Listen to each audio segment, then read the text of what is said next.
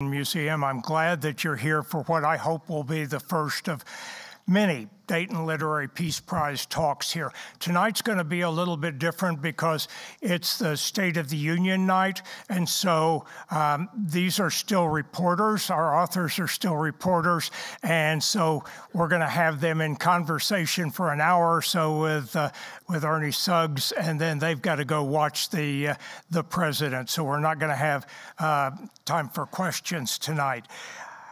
You know, it's really fitting that it is here because from its inception, President Carter wanted this site to be focused on peace.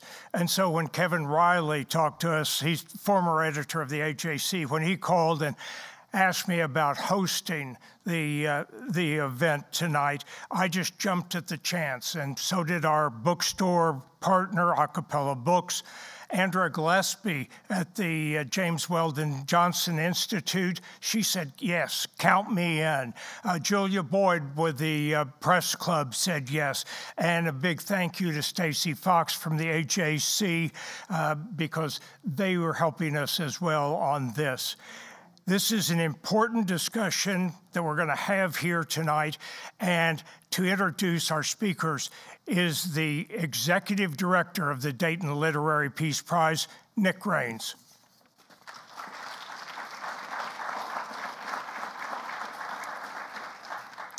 Well, good evening, and thank you so much for spending some time with us here tonight to recognize these two incredible award winning authors.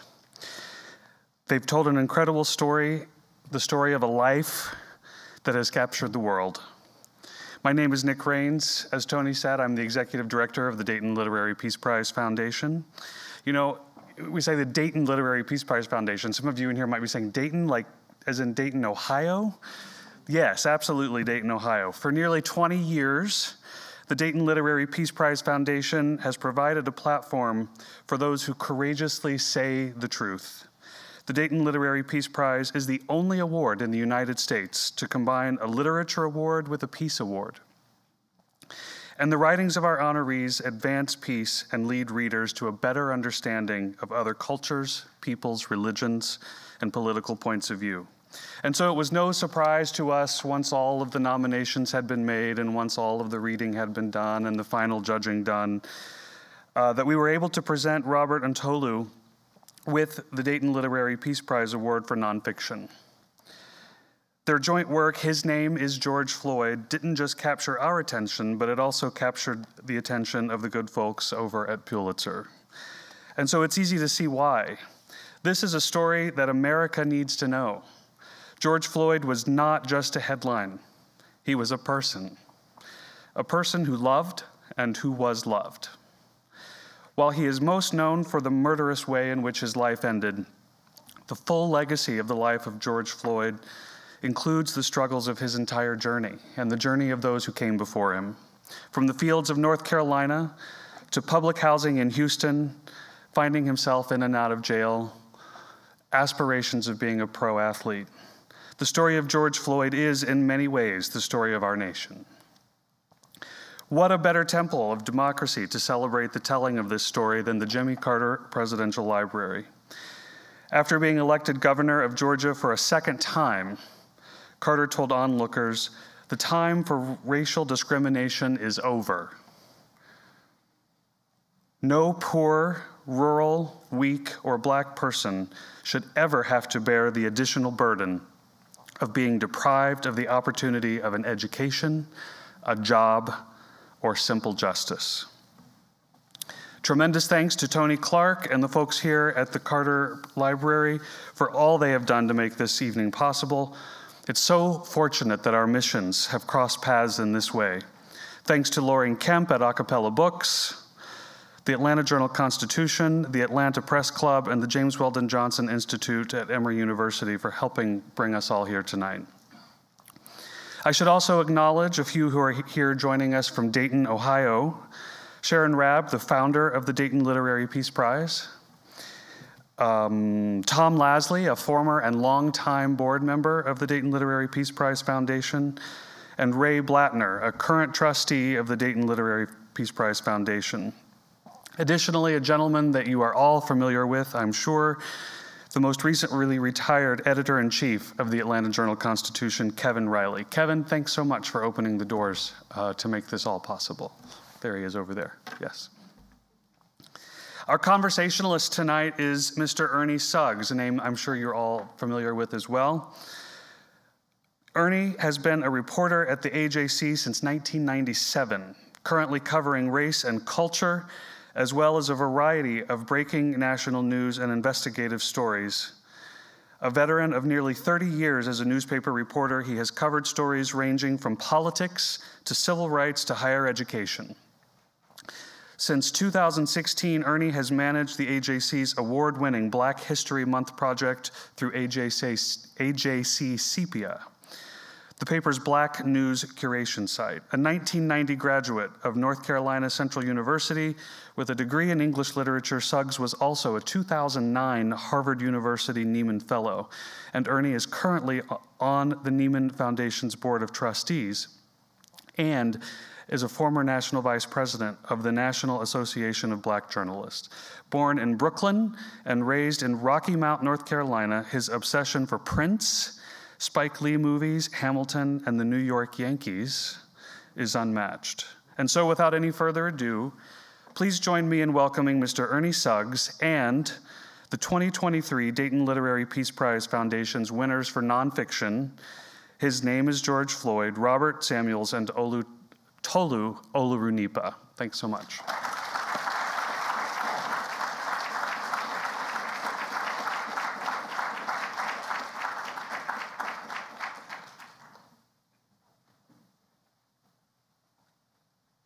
Guys have a preference?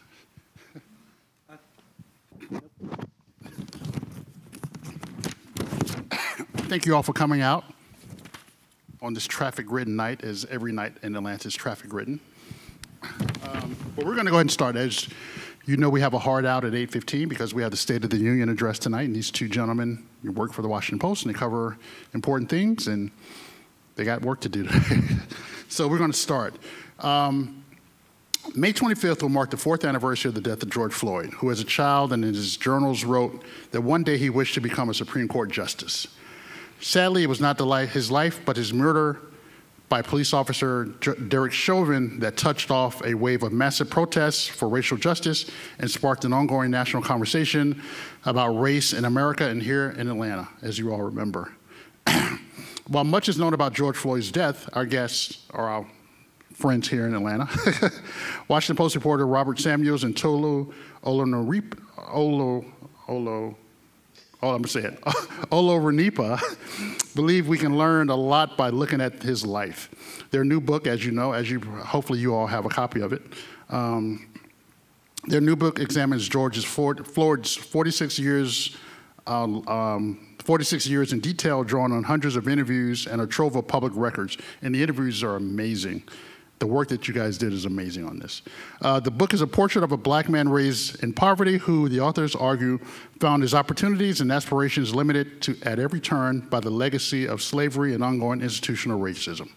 Um, and as mentioned, Robert is, a, um, Robert is a national enterprise reporter at the Post. Tolu is a uh, political enterprise reporter and White House correspondent, chief of the White House, right? Yeah. So um, we're going to get into a really, really good conversation. But first, you know, do you guys, this Dayton Literary Peace Prize. I want to just briefly talk about just your thoughts about, you know, winning such a prestigious honor and what does that mean for your career. And they won Pulitzer prizes. Uh, th- thank you so much. I, I, just want to start off by saying that we're really honored and grateful to be here. Um, a lot of the things that we wrote about in writing this book had to do with the themes that Jimmy Carter uh, devoted his life to advancement, peace, uh, progress for the country. Um, and so we were honored to win the Dayton Literary Peace Prize because it's not too often that you think of journalism or a book or literature in association with peace and promoting peace. But it was quite an honor to know that the Dayton Literary Peace Prize, which has as its tradition the effort to make sure that when we were reading, when we were using the written word, when we were consuming literature, that we were thinking about other people's perspectives, and that is a prerequisite for peace. You have to understand where other people are coming from. That's what we tried to do in writing about George Floyd's life, writing about his life as an American story, not just a tragedy, but a, a story that could tell us more about who we are as Americans, more about where we've come from and where we should be going going forward. So we were honored to uh, see our work, see this book associated with the concept of peace, and it's our honor to be here at the uh, at the Carter Center because we know that's something that Jimmy Carter devoted himself to as well. Um, we can go to the next question.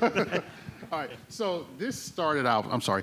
Uh, this started out as a series in the Washington Post. Um, you know, all of us were writing about this. Why did you decide that you wanted to go so deeply into his life to develop it into a book? Uh, we the origin story of this book is is, is um, something that we we talk about from time to time because both Robert and I were um, covering politics in different ways in 2020 when George Floyd was murdered. Uh, I was covering the Trump White House, covering the presidential election, covering the day in and day out chaos that uh, that was happening at the White House. Robert was writing these sweeping, important stories about who we are as a country uh, and how the country was grappling with these major issues. And, and we both were reluctant to cover the breaking news story of another black man being killed by police. We had done this before. We had both covered a number of different racial protests from the aftermath of Trayvon Martin's death to Michael Brown and Ferguson. And we sort of knew there was a cadence for how these things happen. There was a cadence for how journalists cover these things. We sweep into a community, we cover the protests, we get some quotes from people who are angry, and then after a while we leave. And not much changes. And so we were reluctant to, um, to do that. It was the middle of a pandemic. Uh, we had our own, you know, trauma to consider as well. And so what piqued our interest was the idea that the Washington Post was going to approach George Floyd's death differently. We saw that the country was re- reacting differently. We saw that it seemed to be a moment that was different from what we had seen in the past. And what the Post did was was tell us that we weren't going to do, you know, sort of your traditional profile of George Floyd. Um, we were going to go deeper and tell the story not only of George Floyd, but also the story of America. We were going to examine systemic racism and put it under the spotlight.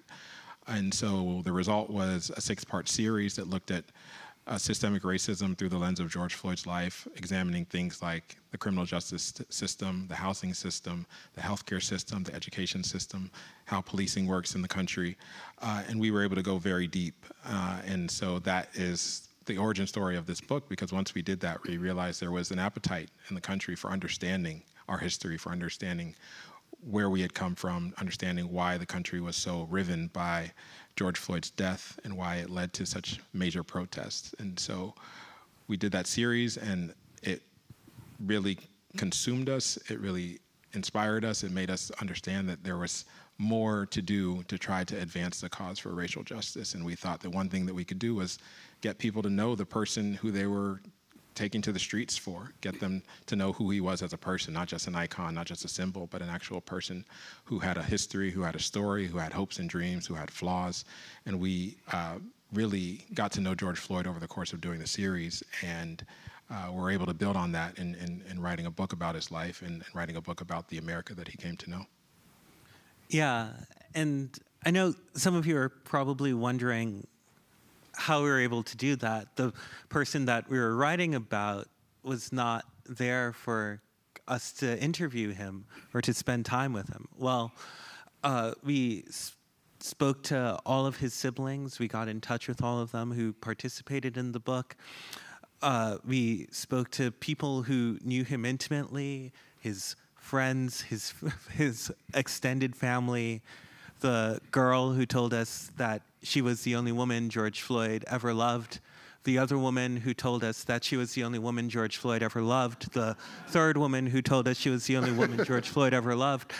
And then we went further. We spoke to lots of experts who look at the idea of systemic racism because we didn't, we knew that when the conversation about George Floyd was happening, that people had a lot of interest in what this thing was. And it was one thing to talk about it in a sort of academic sense, but it was another thing to help people understand that if you look at this life of this man whose name that we all knew, that you could begin to understand how some of the policies that existed in this country long ago, uh, some way before George Floyd was born, and some that were enacted after George Floyd was born, shaped his life. Uh, so we spoke to people who understood that part of it, and they had a few hypotheses about why George Floyd would might do some of the things he did. And in a lot of cases, they were onto something. And then we spoke to uh, people in office, lawmakers, uh, the civil rights leaders, and the very last phone call that we got, literally a half hour before we were supposed to turn the book in, was from President Joe Biden, who also participated. So that was able to, so that's how we were able to do that. And in addition, the thing that we did was we tried to spend a lot of time in the communities that George, where George Floyd lived. So uh, we spent a lot of time in Houston. We spent a lot of time in Minneapolis. Uh, we went to church where he went to church. Uh, his barber became my barber. And we tried to do as much as we could to understand this life, not simply because we thought there was value in understanding who George Floyd was. And there is innate value in being able to humanize someone whose face gets reduced to only their face. But the larger challenge was that if we helped people understand George Floyd's story as a fundamentally American story, then we can begin to have conversations in this country about who we are as American people and to start looking at some of these institutions in ways that can be insidious and in ways that cannot be insurmountable. I think it was fascinating in reading the book how you use George Floyd as an avatar for the social, cultural, political, economic ills that black men and black people have had for centuries. And I, I want to lead into this question about the fact that he died, you know, he spent his whole life poor, um, in you know in trouble with the law, uh, on drugs, you know, battling addiction. But his great great grandfather, I think it was his great great grandfather, was rich, and he was never able to pass any of that down. Can you talk about just how tell that story about his great great grandfather and how that build upon that builds upon where we are, or where George Floyd ended up as a black man? And where we are as a country as black people. Yeah, like, like Robert said, we, we spoke to hundreds of people who knew George Floyd as we were trying to understand his motivations, his soul, his background, his inspirations. Um, but we also wanted to answer questions that were fundamental to how he came into the world.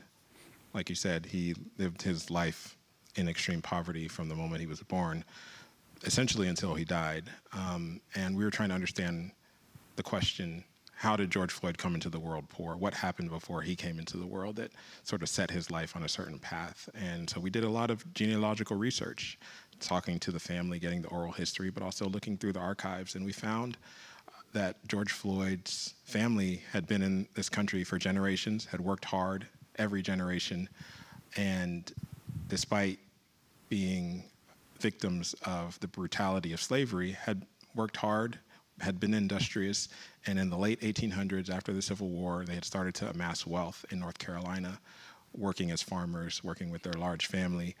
Um, and by the time George Floyd's great great grandfather um, was entering the 20, the 20th century, he owned 500 acres of land in North Carolina. He was one of the wealthiest black men in eastern North Carolina built solely off of the hard work and, and industriousness of his family. And as we researched his life, as we researched uh, his experience, we wanted to understand what happened. And so we talked to his descendants, we looked at newspaper clippings, we looked at gene- genealogical documents uh, dating back to the late 1800s and early 1900s, and we found that he had all of his wealth stripped away. He was born enslaved and worked hard after getting his freedom, but despite the fact that he had worked so hard, there were people in his community uh, who didn't like the fact that he was wealthy, that he was a wealthy black man, that he was increasing in wealth, even as um, people thought that he was not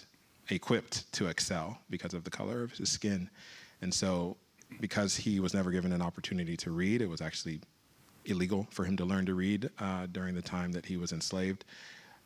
He was essentially duped out of his land. Uh, he had his land stolen from him through fraudulent tax uh, auctions and fraudulent business deals. And he died poor uh, as an 80 year old man who was unable to give any of his immense wealth to any of his descendants. And that was in line with what was happening in the country writ large, especially here in the South, where uh, wealthy black landowners were being stripped of their land um, through often fraudulent means. And we documented that over the course of about 60 years, from the late 1800s to the uh, Jim Crow, uh, to the Civil Rights era, uh, during this period of Jim Crow retaliation for, for some black success, um, farmers especially were uh, targeted. And so more than 90% of the land that was owned by black farmers in the late 1800s, by the time you get to the middle of the 20th century, had been stripped away, had been sold away, was no longer under black ownership. And George Floyd's family history exemplifies that transfer of wealth, that transfer of land. And so by the time George Floyd's grandparents come into the world, they are born poor. They have to work as sharecroppers.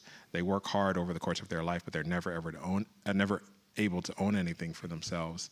And one of the things that was surprising and fascinating for us was learning that not only were George Floyd's grandparents sharecroppers, but his mother, as a child, worked as a sharecropper. And so you think about the legacy of slavery, you think about the legacy of these things that happened so long ago and it's very easy to draw a line from the tobacco fields of North Carolina of the mid 1800s to George Floyd coming into the world 120 years later and still suffering from the legacy of that taking, of that violence, of that oppression. And so, one of the main things we wanted to do in telling his story was to dispel this notion that you know, slavery was such a long time ago. Everyone should get over it. It has no impact on, on today. We found very clearly that it had an impact on George Floyd's life. And um, the last thing I'll say is that we also were able to do research on the family that owned George Floyd's ancestors, and we saw how they were able to amass wealth and hold on to that wealth and pass that wealth down and build that generational wealth and had a different life story uh, in their family line than George Floyd had in his family line. And it's very clearly uh, a result of the kind of racial oppression that we have seen in the past, but continues to have reverberations today. Robert, uh, the first words of the book are "I love you." Why? Why that? And tell us who George Floyd is. Sure. Well, George Floyd, we say he was a godly man. The first time I went to his apartment, or when I saw his room in his townhome, there was a Bible there that was open to the book of Proverbs. He was reading it. He knew his he knew his word. Um, he was a gregarious man.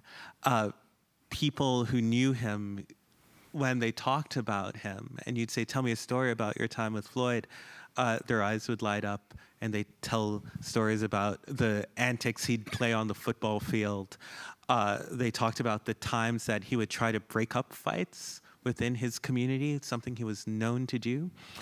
Uh, he was a complicated man, and when we say he was a complicated man, it was he was a person who had believed from a very young age. He would say, "One day I'm going to do something to touch the world. I don't want to rule the world. I don't want to own the world. I just want to touch it."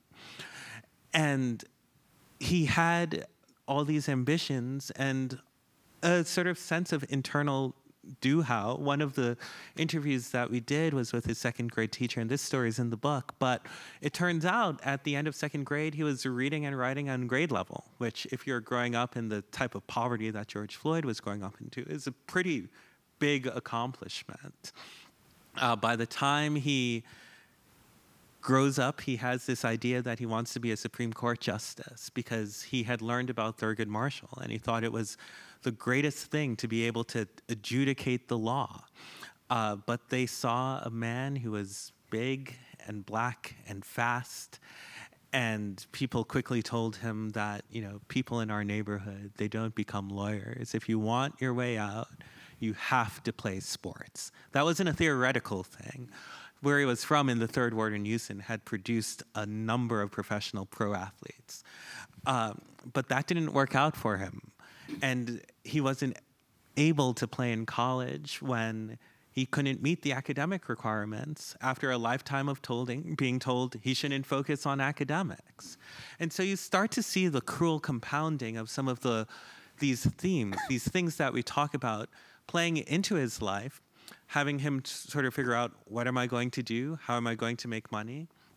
Uh, a lot of times that meant giving in to the economics of his neighborhood and the economics of the neighborhood, which was drugs and then thinking about how am I supposed to cope with this idea that I had all these big dreams and this is what I ended up doing. And a lot of times he gave into the coping mechanism of his neighborhood, which was also drugs.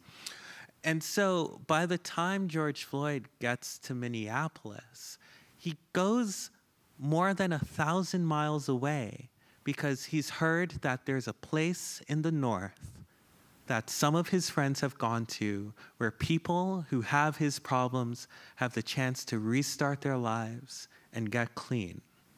And that's the type of person who ultimately encounters Derek Chauvin. So I think now there's been a lot of a proliferation of a lot of misinformation about who George Floyd was.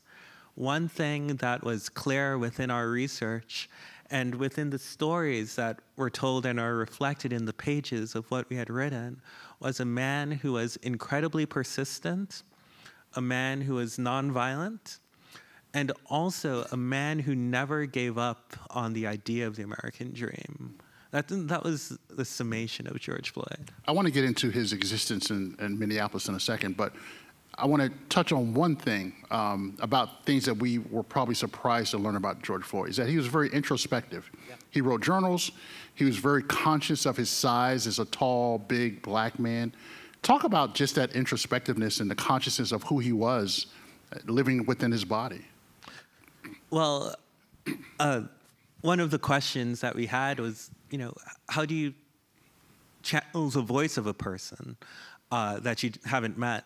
And it turned out that George Floyd, throughout the course of his life, he had written raps and diary entries to himself about how he was feeling and his condition.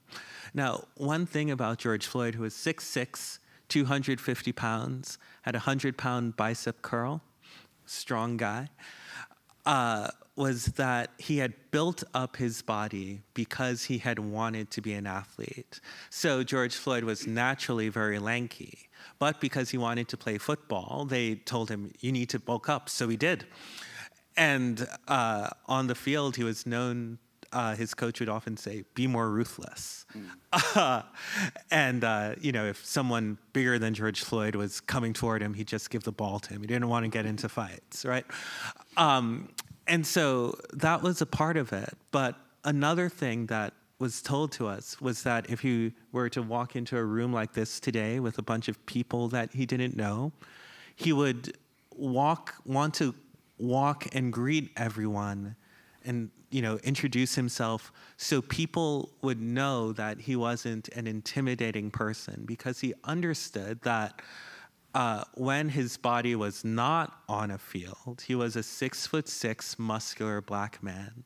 And he had to live with that duality that uh, there was a pride in it, and there was also a threat that came with seeming so threatening. One of the reasons that we had started the book with the words, I love you, is that I made a joke earlier about the women who had loved him, but the first time I heard someone say this, they said, George Floyd told me he loved me. And I thought, this man's got game. But then when you spoke to anyone about the last thing they remembered George Floyd saying to them, it was, I love you. And he would say that because he knew that as black men, people don't know they often give people their flowers, right? So he wanted to make sure that he had spread some love in the world before he left. Now, I think it's one of those cruel ironies, right? That the three words that we most associate with George Floyd today are, I can't breathe. But if you spoke to people who knew him, the three words they would associate most with George Floyd would be, I love you. You talked about, and I'll get Tolu um, to answer this. You talked about um, his dec- decision to move to Minneapolis. He had already been in prison in Houston, right? So Minneapolis was going to be a new start. What was his existence like in Minneapolis? I, I can answer that by first talking about what it, what led him to leave uh, Yeah. Texas, um, and one of the reasons he left Texas was because he wanted to leave sort of the, the trauma of his past. He was he had been incarcerated. Um, he had been um, in some ways traumatized by the carceral system uh, in, in Texas that was very harsh uh, and very disproportionate. Um, a lot of the times he was locked up, we went through all of his arrest records to get a sense of this and talked to the people who were with him in his 20s and early 30s as he was cycling in and out of jail. And, you know, a lot of times he, he had to take a plea deal for petty offenses like possession or tres- trespassing or being in the wrong place at the wrong time.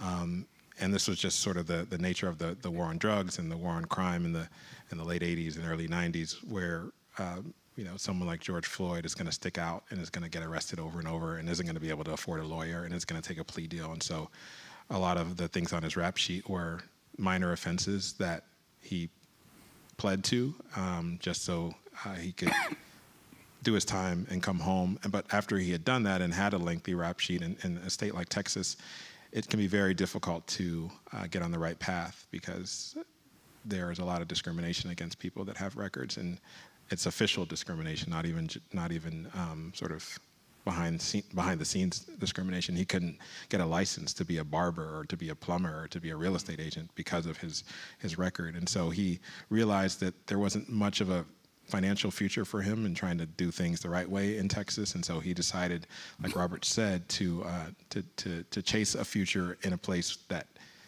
seemed a little bit more forgiving, seemed like it would be more open armed to someone like him, had an opportunity for him to get health care through Medicaid expansion, and had an opportunity for him to get treatment for what by that time was a pretty serious addiction issue. Um, and so he leaves Texas, um, and in the early months of his time in Minneapolis, things are actually going very well for him. He is happy that he's made this choice. He's getting, he's gotten treatment. He's getting clean. Uh, not only did he get treatment, but he got treatment at a rehab center that was specifically tailored to people like him, to black men who were dealing with the struggles that he was dealing with. And so he had gotten treatment. He was dating. He was working. He was making money. He was having the veneer of the American dream. Um, and so what happens to him in, in Minneapolis is that he, he gets a taste of, of that and he gets to see sort of what it's like to breathe for a little bit and, and have a little bit of uh, hope. And then things start to spiral. Um, he realizes that he can't run from uh, the trauma that people like him experience, no matter where they are in the country. And so, one of the first dominoes that starts to fall is that his his roommate at the time, someone who was also going through treatment, another big black man, or athletic former athlete like him, um, who had been dealing with some addiction issues but had gotten treatment. Um, George Floyd comes home and sees his friend, whose name was Big E, um, passed out, and he George Floyd is the person who discovers that his friend has over, overdosed and died. And that sends him into a, a really tough place because he realizes that if someone like his friend, who is dealing with the same issues, who had seemed like he was doing well, who had gone through treatment, who was clean, had, had succumbed to his addiction in this way, what hope was there for, for Floyd? Um, and shortly after that, he gets the news that his mother has passed away back in Houston. Um, and we get into this in the book, but George Floyd and his mother were incredibly close, and people who, have seen the video of him dying hear him crying out for his mother, who had passed uh, a couple, you know, a couple of years earlier, and so they had an incredibly close relationship. And so she dies while he's trying to get himself together, and that sends him further, further down. Um, and then the final blow is that the COVID pandemic hits, and it doesn't only hit, but it hits people like George Floyd especially hard. Um, the places where he was working or places where you couldn't work remote, you had to be in person, and those places shut down. Places like nightclubs and security guard, security guard work uh, where he was working, um, they shut down. He was sent home, and uh, whatever stimulus checks that he was able to get were not able to really go very far. And so by the time he meets Derek Chauvin, he is really, really struggling. Um, and he's really in a, in a dark place, despite the fact that Minneapolis had been a beacon of hope for him. Um, one of the things that we were able to, to, to discover was that a lot of times places that seem like they are incredibly progressive and incredibly open still suffer from a lot of the, the, the vestiges of institutional racism and still have to deal with those things um, in the way that people actually experienced life in these places. And George Floyd experienced the hope that Minneapolis offered, but also um, how that hope could, could slip away so quickly. Um, and so by the time he met Derek Chauvin, um, he was sort of suffering from the, the, the, trials and tribulations that come along with being a black man, no matter where you are in the country, whether you're in the South and somewhere like Texas or you're up north and somewhere like Minneapolis. Before we get into Derek Chauvin, I know that you know the, the data sh shows that black men don't seek therapy. You know, even guys like us who've gone to college and have jobs and have insurance, you know, we just, it's just something we don't do. Losing uh, Big E then losing his father, then and losing I'm sorry, losing his mother, then the COVID crisis comes. Did he have any kind of help? Did he have any kind of opportunities to seek any kind of help, or he was just lost out there by himself? Well, yeah, I mean, he came to Minneapolis to seek therapy, and uh, just because of the nature of the people who are with him, he had a support system in some senses of people who are trying to help lift one another up. So he didn't come to Minneapolis alone. When he came, there was sort of a, you know, there was a path, a passage from Houston to Minneapolis of people who are going through the same thing and people who had been successful with it. I think one of the differences is that when that's your support system and everyone's sort of in the same place, everyone is trying to figure out their own schedule and their own lives. And it's hard to maintain that uh, synchronicity as you continue to go, as you continue to live your life, right? And then I think you also we also have to consider the uh, just the presence of threat, right? Uh, what we had found out was when we were looking at things like opioids. So what happened? You guys know songs about lean and sizzurp and all of that. So all of that that music had started in Texas in George Floyd's neighborhood, and uh, that was the path to going from uh, codeine to, in some cases, heroin to fentanyl, to uh, oxycodone and Percocet, which is what was done in Minneapolis. And three weeks after George Floyd died, uh, the state of Minneapolis put out a special report saying, We've been very concerned about the opioid crisis, and we've actually been looking at it in all the wrong places because all the money has been going here and the biggest problems are over here. And over here is where George Floyd was, right? And so you have this constant tug of, you know, uh, we're speaking of State of the Union, but Hunter Biden has, you know, talked to talked frankly about the fact that um, drug dependency is an hourly, it's an hourly struggle, right? So um, you have a person in a community where this is not being treated, not being treated in the same way. And then you have a pandemic that isolates those sorts of people. And that's the conundrum that George Floyd found himself in. What, the, what our reporting showed was that in late 2019, uh, he had run into one of the people at the treatment center, and his plan was to go back into treatment but COVID had complicated that matter. You guys are not shy about detailing his missteps, his arrest, his opioid addiction, his time in prison. And you interviewed 400 people for this book, including his family. So, how were you able to kind of navigate these questions with his family? Because I know as a reporter, it's difficult often to talk to family members of someone who's died, especially someone who's high profile as him. Uh, when you were writing this book, Chauvin hadn't been convicted yet or hadn't gone to trial yet. So, how difficult was it to break the family? Or not break, but, you know, get into the family? um, you handle it honestly uh, because that's what you do. Now, when we spoke to the Floyd family, you know, as I would do with any other person who I'm speaking with, I make sure they know their rights, which is their right to tell me buzz off and I don't want to answer this question, mm-hmm. and that's okay, you know. Um, and you know, the first time that we had asked about this, they essentially told me buzz off, and we kept on moving, right? Um, the truth, the truth of the matter is also this: that there are people in his life because of what they had gone through and because they had known George Floyd's openness about his struggles, they were willing to talk about it in extraordinary detail. And we're thankful to them for it because they understood that the larger thing was not to demonize George Floyd, it was to humanize George Floyd, but also to help show those of us who still have the privilege of living some of the issues so we can continue to live better lives, right? That's what this was all about. And I think one of the most important testimonies came from his girlfriend, Courtney Ross, uh, who was a white woman and had fallen into the throes of drug dependency with George Floyd.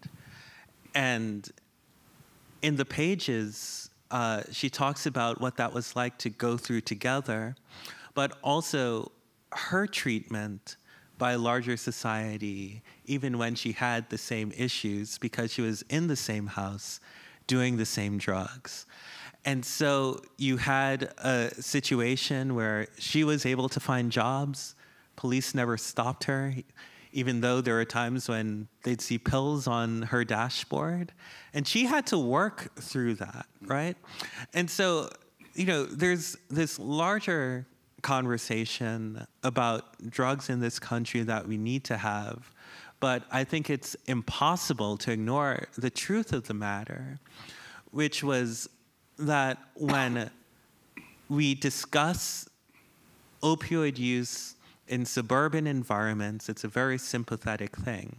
When Courtney Ross got on the stand and told her story about her struggle with drug dependency, she got lots of text messages of people inviting her to their house and encouragement. And I know this because I was there when she was getting the text messages. I was right next to her. And what we, we can compare that to the ways that uh, people with more nefarious intent try to use George Floyd's story not just to diminish his life as if it didn't matter, but also to diminish the fact that what his death had resurrected within this country was a heightened awareness and a necessary conversation about race. There was a narrative that was going around that was quickly debunked that George knew Chauvin that they knew each other. But let's talk a little bit about that night and the collision course that that they met. Unfortunately, that night. Can you talk a little bit about what? In the, the first chapter of the book is amazing. I told you guys it reads like a novel, and you kind of lead up to right before that. But talk about that night and just what that day was like. Cause he was just hanging out. He was just going shopping, basically. Yeah, Memorial Day uh, 2020 was a normal day for George Floyd, other than the fact that he was sort of out of work and um, struggling because of the, the pandemic. He wanted to have a normal day. He wanted to have a Memorial Day barbecue. He was running errands with a friend. He was uh, at the corner store, um, just spending the day thinking it was going to be a normal day. And so you talk about the collision course. We also were included a chapter in the book about Derek Chauvin and his life arc and the life arc of his entire family, um, going back several generations. But the the pathway that took Derek Chauvin to that corner um, also tells us about the country. It also tells us about America. It tells us about how policing works. Um, you know, Derek Chauvin was a thumper, in the words of uh, both his colleagues and people in the community who had dealt with him. Uh, he was a, an incredibly aggressive police officer who had a history of complaints um, but he was also representative. Um, he wasn't an outlier in terms of the kinds of policing that he performed in the community where he was performing it. He was known as someone who would put people in a chokehold. He had done it multiple times before he met George Floyd. It had been complained about multiple times, and he had not been reprimanded, but instead had been promoted and had been encouraged. And so the pathway that he was on was that the community, his professional um, environment was encouraging him to do what he was doing, was encouraging him to police the way he policed that day. And George Floyd was sort of the, the, the next person in a long line of people who he had treated in a specific way without a lot of fanfare, without protests, without, um, in many cases, without, a, without the person dying. But I think it's important for us to in, it, put the spotlight on George Floyd and, and how his his life led him to that moment in May 25th, 2020, but also look at Derek Chauvin and look at the systems that led him to that moment, the systems that encouraged him to police the way that he did, and that did not stop him, uh, even when there were multiple red, flashing red flags uh, and warning signs in his life uh, and in his policing career, years and months before he met uh, George Floyd. And tells us about policing in America, and specifically in the third precinct of Minneapolis, and it tells us about what we encourage and what we support, and who in our society gets support when they make bad choices. And as a, as a quick aside, you know, Derek Chauvin was later convicted of tax fraud um, because he had been working off the books as a police officer for years without um, a lot of um, scrutiny. And George Floyd gets arrested for allegedly using a $20 counterfeit bill and is killed for it. And so it's a, a stark reminder of um, who gets grace in our country, who gets the force of law targeted uh, at them, and, and what that means for, for, for what we need to do going forward to bring more um, equality and justice into our system. So, Robert, going back to the $20 bill. So he goes, he's Memorial Day, he wants to have a cookout, he's going to buy some charcoal, he goes into the store and he's allegedly has used a twenty dollar bill or a counterfeit twenty dollar bill. Pick it up from if Uh, yeah From from when he uses the twenty dollar bill. yeah yeah Uh, well, he's there with he's there with two of his friends. Uh, one friend who he's been running around town with, and uh, a former lover of his named Shawanda Hill, and uh, he uh, comes out. Uh, there's a person at the register who says, looks at the hue of the bill and believes it's counterfeit. Uh, because George Floyd is well known at the store, the manager says you should go out and tell him so he can come back in. George Floyd, who's been running around all day, uh, is uh, chatting with his friends. Uh, one of whom is who is very jumpy because he's a drug dealer, and uh, is falling asleep because he's very tired. Uh, he's confronted uh, by the, well, he's not confronted. The person at the register who's a teenager approaches him after calling uh, and says, This is counterfeit. George Floyd says, I don't know what you're talking about. No one in the car knows what he's talking about. And uh, the boy walks into the store and he's told to call the police, which he does. And uh, when uh, someone in the car says, "You need to go and give this guy twenty dollars because it looks like he's about to call the police," um, that's the part of this story that picks up that we all know. I didn't really feel like we need to go through great detail what happened. There are some things that I would want to point out um, just about the reporting of it because um, one because I want you all to pick up the book, but I also think it's this is the part that never made it to a witness stand or had never been told before uh, because it was said, which was wrong, that George Floyd had gone to that store to uh, pay a cell phone bill. Mm-hmm. and that didn't square with me. And so we tried to find the two people who were in the car with him. Now, uh, Maurice Hill, Maurice Hall uh, had pleaded the fifth on the stand. Uh, Shawanda Hill um, was essentially a, deemed a hostile witness, and so no one had talked to them before. Uh, and but I had a friend, which is why it's good in life to be close to your friends, uh, who had taken a picture of Shawanda. And I called and asked if she had any contact information for her. And uh, my friend said, I don't, but I kind of remember where she lives. So, how about I fly to Minneapolis and we can look for the apartment together? And we go and we find it, and there are all these buttons on the outside, no names and no numbers. And I said, Well, you can start on the top, and I'll start on the bottom, and we'll knock on every door of the apartment until we find the right person. But let's just see if someone opens the door. And at that point, I pushed the door just to see if it was unlocked, and it was unlocked.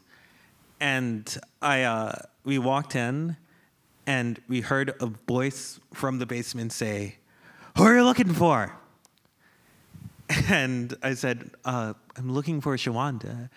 And he goes, Shawanda, you mean the woman who lives in. And then he just gave us the apartment number. And he said, Yeah, that's her. He didn't say woman, he used another word. And um, we got there and we knocked on the door, and I explained what we were doing, and she said, "You guys are writing about you guys are writing a book about Floyd."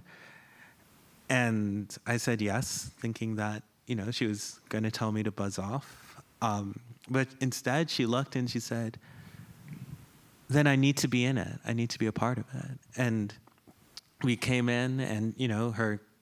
It was a studio apartment with a queen bed and a chair, and I sat on the chair, and she sat on the bed, and she began to tell us the story.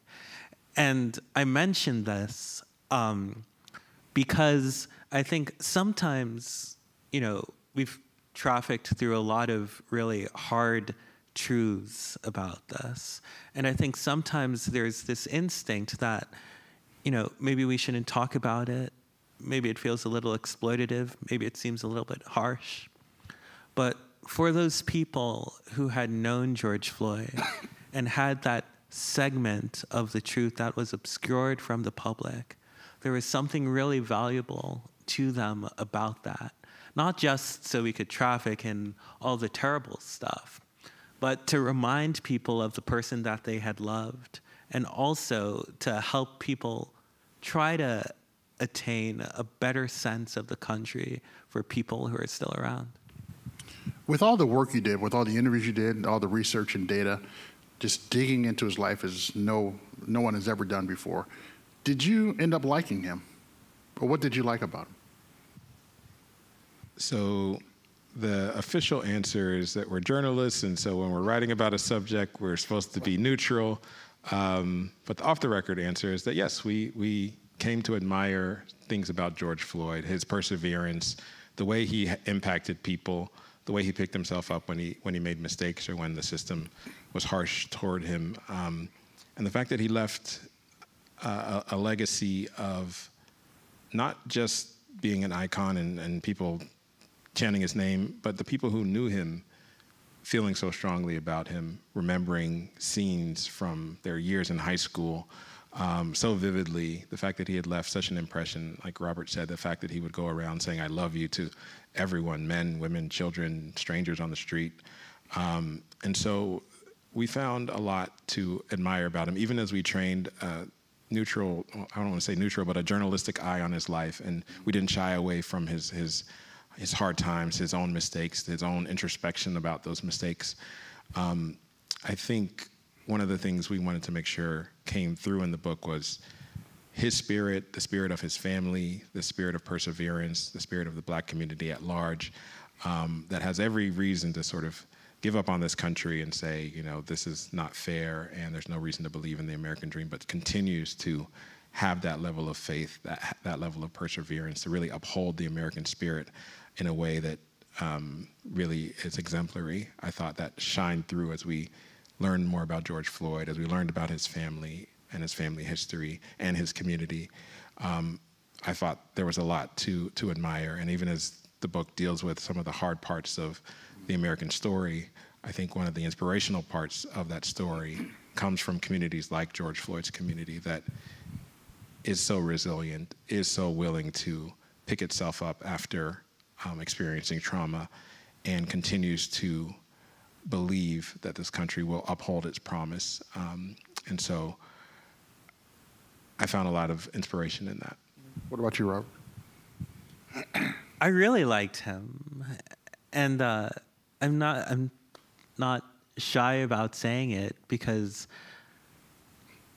I fear that you know if I had walked down the street and saw George Floyd, that I might have dismissed him, that I might have looked at him and thought things about him without having the opportunity of learning the depth and the wit and the humor that was noticeable to so many people who knew him.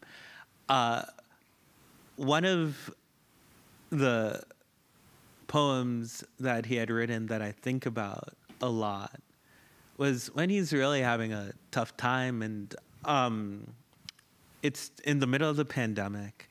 It's probably one of the last things he had written to himself, just given the timing of it. Um, and he, you know, he says, uh, you know, life's really hard. I'm stuck with corona, COVID, and I only have a hundred bucks to my name. I have this addiction, and I'm looking at the sun, and life really sucks, but life never sucks, mm. right? Like to himself, like that's what he's telling himself. And you just think about how many times that in our daily lives you think to yourself, man, this really sucks, but I can't let it get to me, mm. right? And how can you not learn to appreciate and be endeared by a person who continues to have that attitude? And, um, you know, that same sort of grace that is given to the people who we report about, um, who do super well and maybe lose their job or are mad because the government did this and that to them. And even though they're complaining, we're still able to see them through the clear eyes of them having a fundamentally American dream.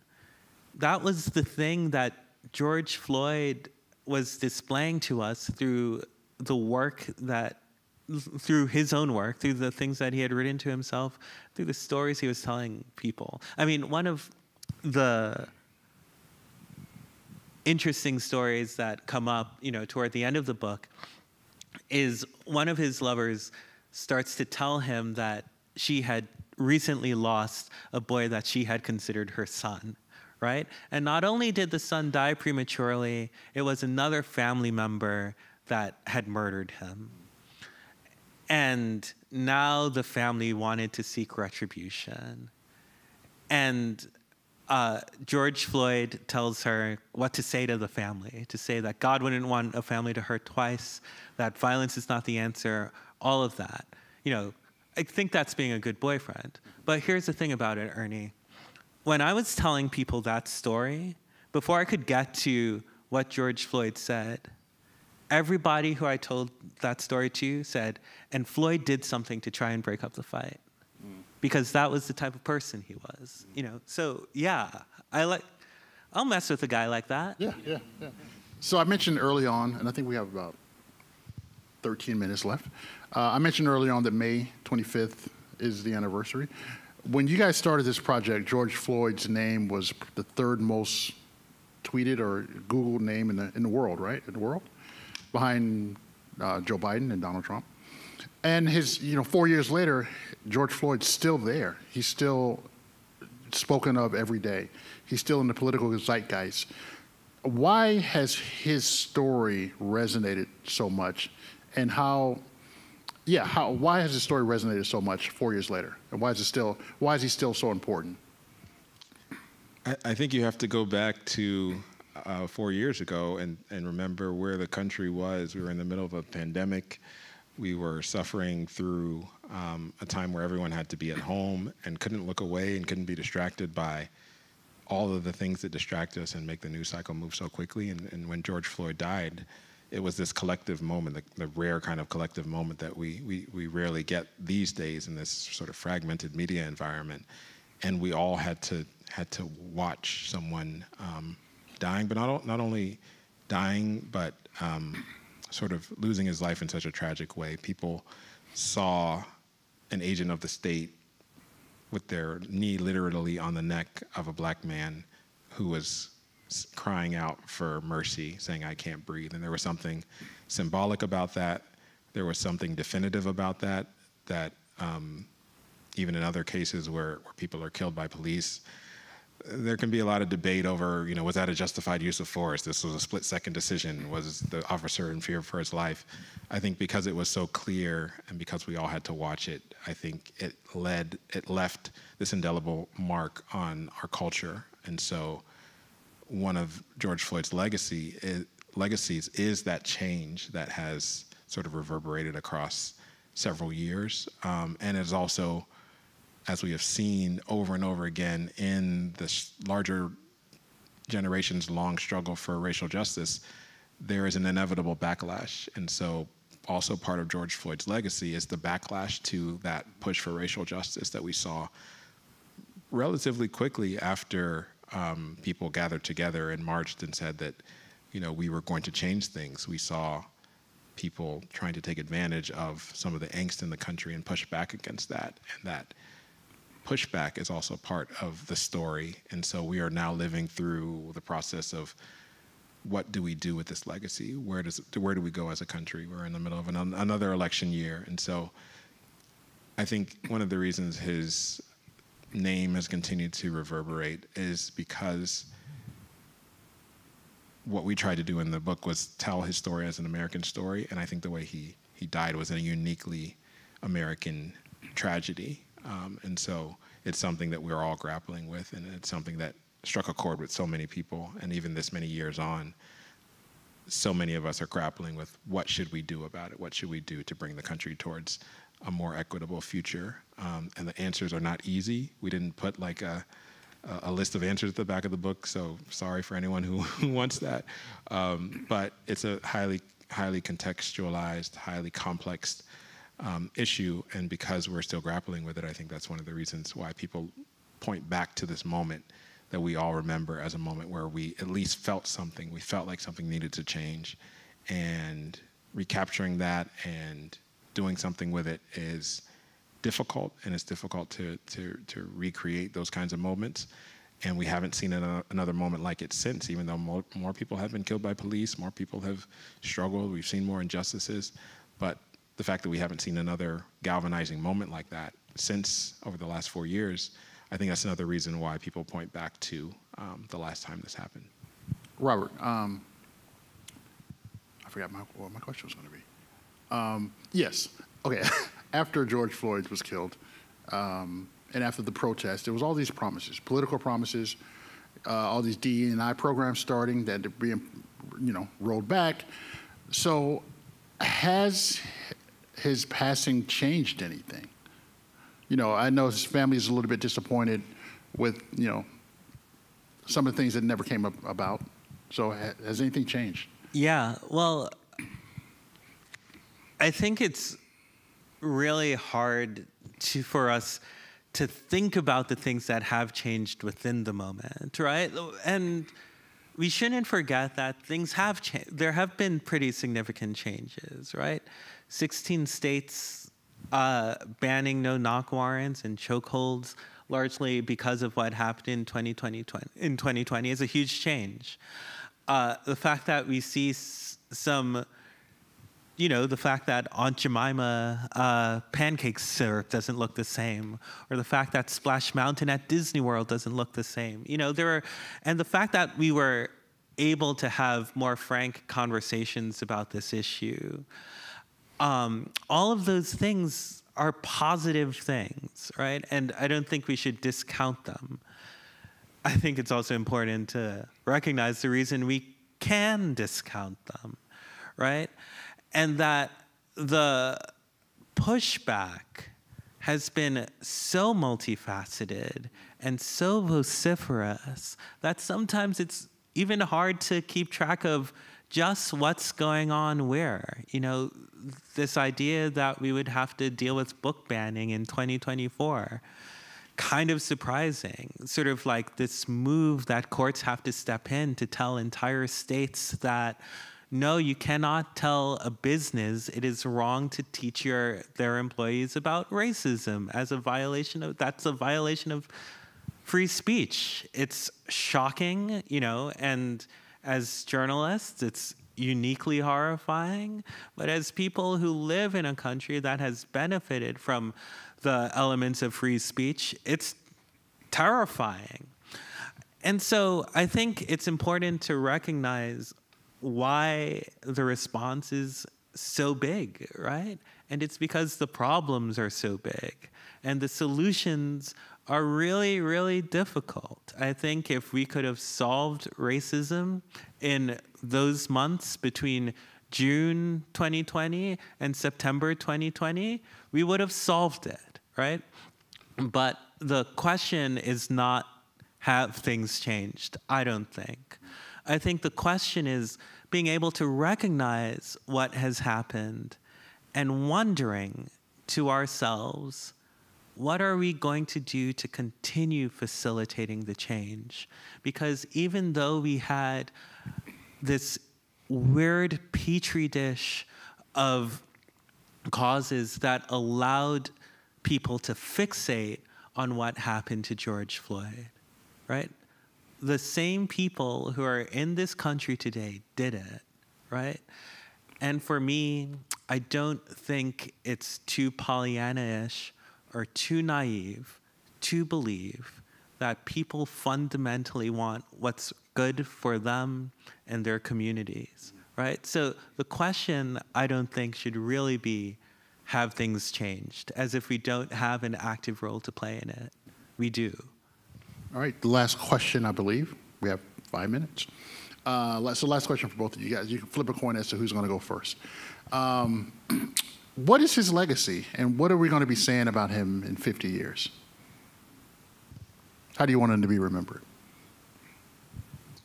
I'll, I'll just kind of pick up where Robert left off in that that is something that is actively being determined today, and we all have a role to play in that.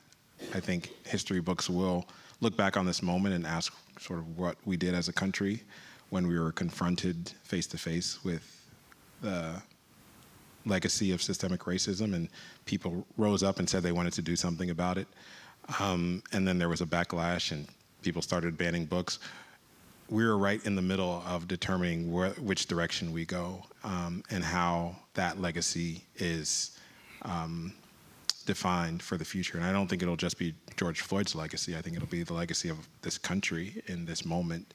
Um, and it is TBD in a lot of ways, determining where, which direction we're, we're going to go. We're right there on a knife's edge, and there are a lot of things hanging in the balance, not the least of which is an election that's coming up in several months. But I think there are forces on either side of, side of the equation that are looking at this moment and looking for uh, an advantage. There are forces for justice, there are forces for pushing the country towards um, being more multicultural, being more open, being more equitable. There are also forces that want to capitalize on the fear that some people have about a changing country, about the sense that things are moving too quickly, and they are also looking to capitalize. And I think what George Floyd's legacy will be, what the legacy of this moment will be, is very much something that is actively being determined right now. Um, and I think that the people who um, who show up, the people who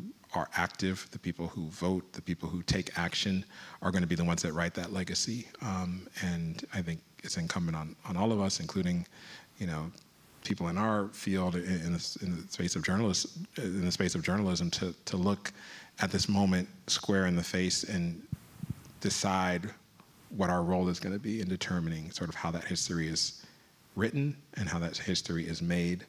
Um, and I think it's an active debate that's ongoing. And so, you know, I would hope that, you know, everyone here, especially by your presence here, uh, there there's a sense that, you know, you are going to be some of the change makers to determine how this moment is remembered and how George Floyd's legacy, but more importantly, how the legacy of our country is written and established and secured because we, we have seen how quickly uh, progress can be um, can be undermined. And so not only do we have to fight for that progress, but we have to secure it and we have to defend it and we have to make sure that we are constantly um, activating ourselves to um, to be part of the process, to be part of the solution. Um, and so I hope that I will be part of that process of, of determining that that legacy. Um, I hope that by writing the book, I've played some role in that. But I think there is no ability for any of us to rest on our laurels because there is a very active um, constituency looking to push the country in the opposite direction and move things backwards. And so we all have to be on our guard and we all have to take action to make sure that if we want there to be a legacy for uh, the country in this moment, we have to be playing a role in writing that legacy. Yeah, to summarize it, I often think about, I would say, who is George Floyd? George Floyd was a human being, no more human than me, no less human than you, who helped show the country both the privilege and the, oppor- the privilege and the opportunity that lies in this country. I would say that George Floyd's legacy shows us that the American privilege is its ability to be pessimistic, right? It's the ability to look at things and walk away and have people deal with the effects of it. But I think the American opportunity is also shown in George Floyd, and that's through the hope that he had when he talked about his life sucking but never sucking, and his belief that even to the very last breaths, that someone would ultimately hear his cry Please get off of me. I love you. I love you. I love you. And I think if we continue to think about our lives and our connections with each other that way, I think that's a really great way to honor what he meant to this moment and to this country. Well, thank you very much. That's a beautiful way to end it. If you haven't picked, if you haven't picked up the book, it's a beautiful book. His name is George Floyd. I want to, uh, you all to give our panel another round of applause. Robert Samuels, Tolu Olorunnipa. You know, in listening to them tonight, as Ernie said, their book is, his name is George Floyd. But what it does, it challenges us to ask, who are we? How do we respond to, uh, to what happened. And uh, I think that's the question, as Toluse was saying.